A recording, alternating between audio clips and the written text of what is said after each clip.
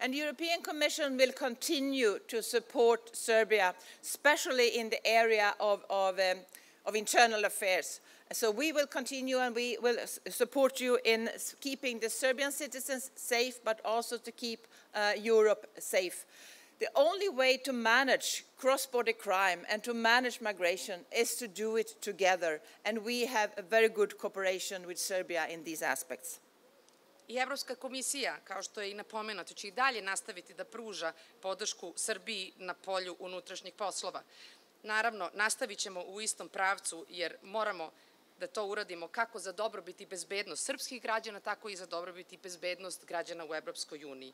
Mi ćemo nastaviti da se borimo protiv prekograničnog kriminala i samo zajedničkim snagama možemo da nastavimo dalje i ostvarimo dobre rezultate. We now also have an important moment for the EU um, uh, for the EU accession process with the growth plan for the Western Balkans. This is an excellent opportunity for Serbia, and I'm looking forward to see the uh, adoption of the reform agenda, also addressing things we discussed today on fighting corruption and the fundamentals, including the rule of law. As you already are aware, we have allocated as much as 6 billion euros for the region, and of course this will help uh, significantly with the improvement on your important path towards the EU.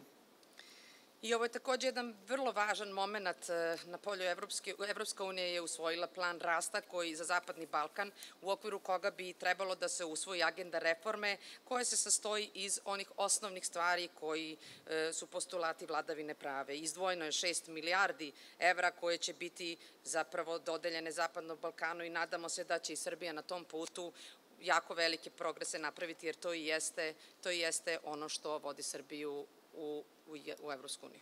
And last, Minister uh, Dacic, dear Ivica, uh, we had a good cooperation in your previous position as Minister of Foreign Affairs, and I'm really looking forward to work with you in your new capacity, and thank you for your warm welcome here in Belgrade.